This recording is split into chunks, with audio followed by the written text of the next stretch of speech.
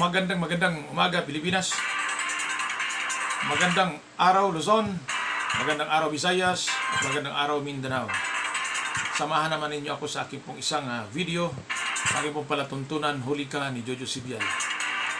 Pero bago tayo magpatuloy ng ating pong ah, video, samahan ninyo ako simula sa simula hanggang matapos. Tapusin po ninyo ito aking video dahil napakaganda at napaka-importante ito para sa atin.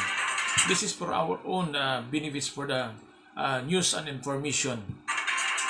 Sa mga hindi pa po nakapag-subscribe ng aking YouTube channel, please subscribe my YouTube channel, Holy Ka TV. At pakipindot lamang ho ng notification, notification bell upang pong aking mga videos ay inyo pong mapanood dahil kayo ang una sa aking puso. Paki-like, comment at higit sa lahat paki-share. Maraming salamat!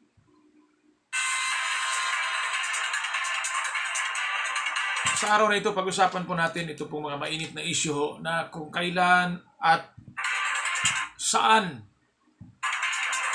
ang bakuna manggaling at kailan darating sa ating bansa. Base nga doon sa aking unang video, mga kapatid, kapus at kapamilya, ay sa February ho, next month ay may mga bakuna na hong darating. Pero ayon doon ho sa sinasabi ho ni Secretary Carlito Galvez Jr., ah, Vaccine Caesar, Chief Implementor, NTF against COVID-19. Sir, Secretary Galvez, Sir, ako po sumasaludo sa inyo at ako po mataas ang respeto ko sa inyo dahil napakagaling niyo po na inilagay ho, itinalaga ho ng ating Pangulo ng Bansa, Pangulong Rodrigo Roa Duterte, na magi ho kayong uh, Vaccine Caesar o Chief Implementor ng NTF against COVID-19. At uh, mismo ako ho at aking mga kasamahan ay sumusuporta po sa inyo maging sa ating Pangulo ng Bansa, Pangulong Rodrigo Roa Duterte. At uh, kami din ho ay sumusuporta ho sa Administrasyon Duterte uh, dahil po sa kamaganda niyang uh, ipinapakita at pagpatupad sa ating uh, gobyerno. Ayon ho kay Secretary Galvez, ah, ah, na mauna ho ah, darating ho ang Pfizer vaccine ah, ah, rather than ah, Sinovac. Yun po ang sabi niya. At ako naman po ay natutuwa, mga kababayan ko, kapatid, kapus at kapamilya, dahil nga po tayo sa wakas ay magkaroon na rin ng bakuna upang pong makabalik na tayo sa normal. At upang pong ang ating mga kababayan na may mga o nawala ng hanap buhay ay magkaroon na ng hanap buhay. At syempre, of course, ang ating po mga negosyante ah, na makapagbalik hanap buhay na po ang ating mga negosyante, ang ating po mga kababayan negosyante. Lalo na po sa ating mga kababayang manggagawa. At uh, isang magandang araw, mapagpalang araw sa lahat po ng uh, frontliners, health workers, Philippine National Police, Armed Forces of the Philippines, LGUs, mga kabarangays, mga non-government organization, mga volunteers natin nationwide, maraming maraming salamat sa inyo sa pagpatuloy hong gabayan, subaybayan at iingatan po kami.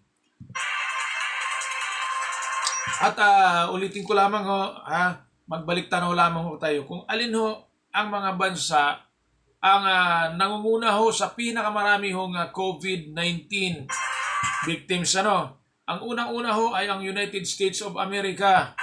Ang pangalawa ho, ang bansang India. Ang, pa- ang pangatlo ay bansang Brazil. At ang pang-apat po ay bansang Russia. At ang panglima po ay ang bansang United Kingdom. Ito po yung mga limang bansa na nangunguna ho ngayon. At ito rin yung mga bansa na masigasig ho upang pong maka-discovery ho ng mga bakuna laban sa COVID-19. Maraming salamat ho sa ating gobyerno dahil sa kanila hong uh, pagsisigasig, lalo na po ito si Secretary Galvez, Secretary Carlito Galvez Jr., sa kanya hong uh, tripling trabaho o masigasig at nasa puso't isipan ang kanyang paglilingkod para sa taong bayan na maka-avail tayo ng bakuna kontra COVID. Pero ulitin ko lamang, ho, meron lang naman ako isang katanungan na nais ko rin i-share sa inyo ho, na sana din ho ay inyo rin po itong uh, namnamin, himay-himayin, at alamin din ho, dahil base sa isang kongresista ho ng, uh, ng Mindanao, uh, na si Congressman Representative Rufus Rodriguez, at mamaya-maya lamang ho, pag-usapan natin ang kanya pong mga views, opinion tungkol ho sa COVID-19 ah, bilang isa hong Philippine lawmaker sa ating bansa. Ayon sa kanya, ay ah, ito ang mga ga- ito ang mga bakunang Pfizer at ah, iba pa lalo na ho sa bansang ah, Amerika, bansang United Kingdom, Russia, China, at India at iba pa na talaga hong pagdating sa technology, sa mga invention ho, ay ah, ay ah, magaling at talagang epektibo ho. Ah, eh ang problema ho dito sa ating Food and Drug Administration kay Director General o Yusik ah, Eric Domingo ng Food and Drug Administration ay sa ibang bansa, lalo na sa bansang Estados Unidos, ito ho'y pinahintulutan na upang gamitin ng bakuna sa kanilang bansa. Pero pagdating ho dito sa atin, abay kay medyo may kabagalan ho, ha? Ah, Director na DG Eric Domingo, sir. Baka pwede naman ho, sir, eh, ah, ito nga ang tanong ko ho, eh, at at tanong din ho ni ah, Secretary, ah, ni, sorry ho, ni Representative Rufus Rodriguez. Sino ho ba ang bansang Pilipinas? Hindi natin miniminus ang bansa natin, ha? Kasi tabi po, ha? Ibig ko lamang sabihin, pagdating ho sa technology o teknolohiya ho, abay mas advanced itong mga bansang sinasabi ko, katulad ng Estados Unidos, ah, bansang India, bansang ah, United Kingdom, bansang Russia, para ikumpara mo sa atin at bakit ho ang tagal natin ma-issue ano sila ng emergency use authorization. At ah, kailangan ho ba sila ang mag-apply or tayo ho ba ang maghikayat sa kanila upang mag-apply? Yun ang aking mga katanungan ay tinanong ko na rin to dati ho sa aking ah, nakarang mga video ano sa kana, nakarang video ko. Ito ha, ito ha. Dahil nga po sa COVAX facility, ha? Ah, ah, kailangan ho natin na itong Pfizer ho, ha? Halos 20 milyon ha, sa darating na February ho, ang mga tao hong ha, ha, magbibinipisyo ho para ho mabakunahan ng libre. Ha, ayon ho yan kay ah, Secretary ah, Carlito Galvez Jr. Kaya napakapalad po sa lahat hong mabakunahan. Kung kayo po'y mauna, abay mapalad ho kayo.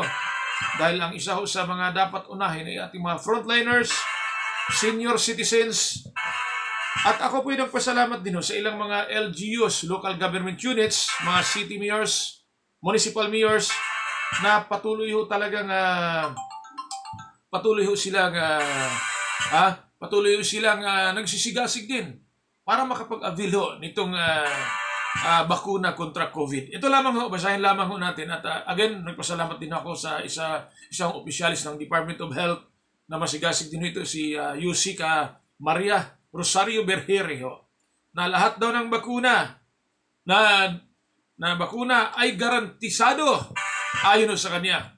At syempre naman ho, talagang gar- garantisado yan dahil nga ho, hindi ho papasayan sa kanilang bansa kung hindi ho ganun ho sila kagaling ho, ha? Para ho uh, gawin ito. Hindi ko sinasabi po ang bansang Pilipinas ay mahina ho. Ibig ko lamang sabihin ho, minsan ho talaga nagpapatis patay sa ibang bansa. At kaya alam na alam ko nung panahon ako ay nandyan pa ho sa, uh, madalas ako pumapasyal sa uh, Food and Drug Administration. Nung panahon ho, ang tawag ho dyan ay BFAD, Bureau of Food and Drug ang tawag ho dyan. Ngayon ho, Food and Drug Administration na o FDA. Ano? Ito ho, ah, isa hong ah, LG ho, Bacolod City ho, ha, pumirma na ng uh, tripartite ah, agreement at confidentiality agreement sa AstraZeneca para sa COVID-19 vaccine.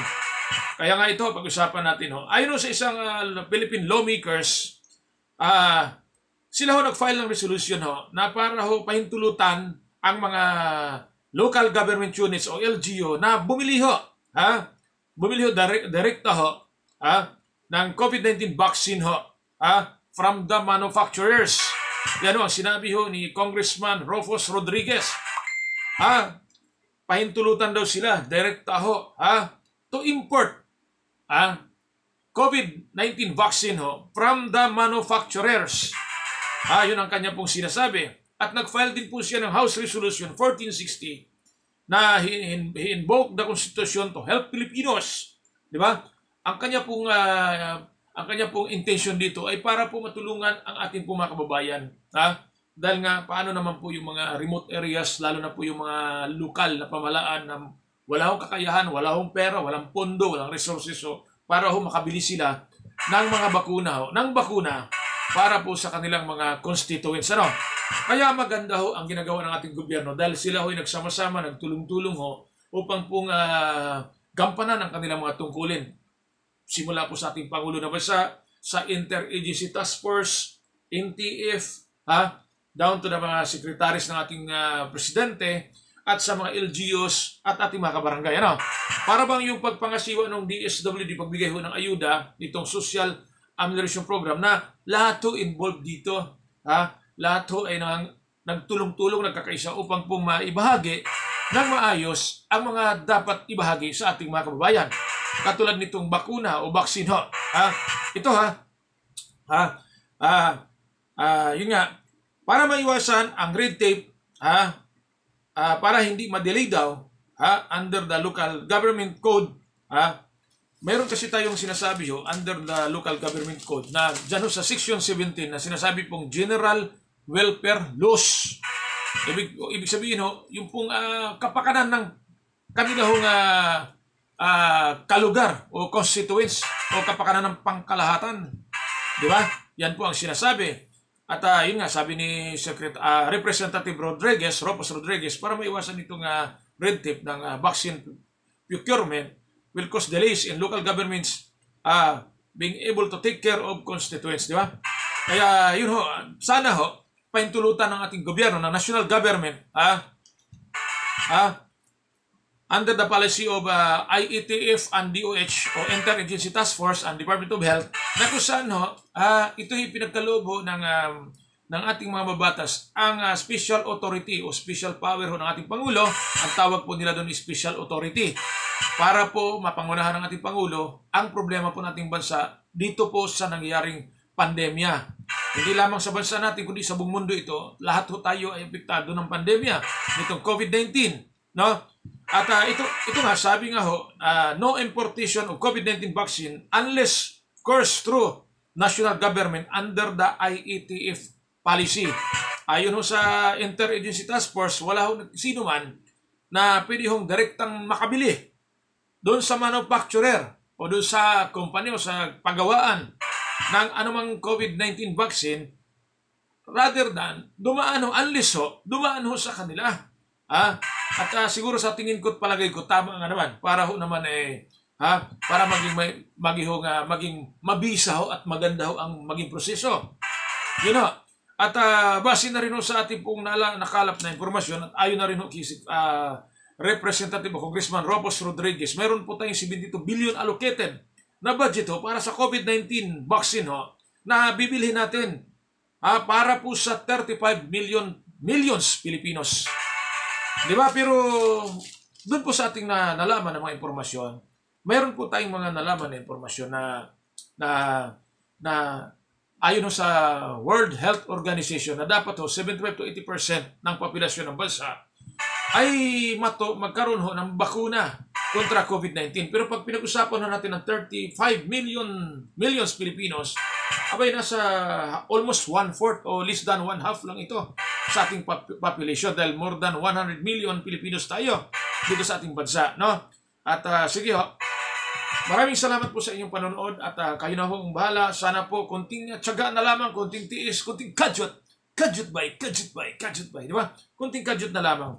At syempre ho, sumuporta po tayo sa gobyerno natin. Ipanalangin po natin ating bansa Magdasal po tayo sa nag-isa tunay na Diyos, ipagdasal natin ating Pangulo, ipagdasal natin ating bansa na matuldukan na itong problema natin sa pandemya at higit sa lahat, makakuha tayo ng maayos at magandang vaccine, bakuna para po sa ating mga kababayan at mag-isa atin na rin ho, di ba?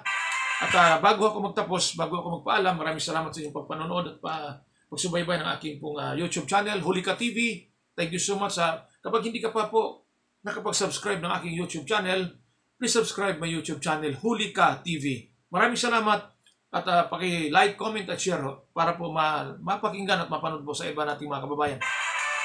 Sa ating mga kapatid, kapuso, kapamilya. Hindi man dito sa ating bansa, maging sa ibang bansa. Ating pong mga kababayan OFW from abroad. Ha? Overseas Filipino workers na mga mahal natin, kababayan. Ito ho, magbasa lamang ako ng mga ilan pong mga uh, uh, dito po sa mga sino ho ba ang mga bago ko pong mga subscribers so ng aking pong uh, YouTube channel. Thank you so much kay Christine Green, uh, Peter Macalos Vlog, Coffee Beam, Simple Dayand, Makoy Kagawa, uh, Levi Zhang, Teacher Roditi, uh, Bibit Kim, Jocelyn Alves, Mang Ens, at Jerome Trive, Katok Vlog, Revelin Amungo, Ziat Artistry, Alpha Omega, si Mano Manang HK, Mian and Family, Subukan Natin TV, Mar Marilu Rilyo Rasa, Buhay OFW Malaysia, at Michi Liandra. At uh, maraming salamat din ho sa birthday boy, ang ating aking kaibigan, si Sir Ching Junida. Happy birthday po sa inyo. At again, paalala ko lamang sa inyo, stay safe tayo, stay at home mga kapatid, kapusat kapamilya, magsuot ng face mask o face shield, maghugas ng kamay o maglinis ng ating katawan, ng ating tirahan o tahanan, at higit sa lahat, observe social physical distancing. Again, maraming salamat po sa inyo at sana po may napulutan po kayong mga aral sa aking pong video na isinare po sa inyo sa araw na ito. At uh, sana po magkaisa at magtulungan tayo para po magkaroon na po tayo ng katiwasayan sa ating pong uh, pamumuhay. Magbalik ang nur ang nang, na, magbalik sa normal ang lahat. Okay, maraming maraming salamat. Dagang salamat, Mrs. Mindanao. Diyos mabalos Bicolanos. Maraming salamat, Pilipinas. Thank you, world. Diyos mabalos at mabayang masang Pilipino. God bless to God be the glory. Magkita tayo sa aking sunod na mga videos. God bless. Bye-bye. Thank you so much. Thank you so much. Bye-bye.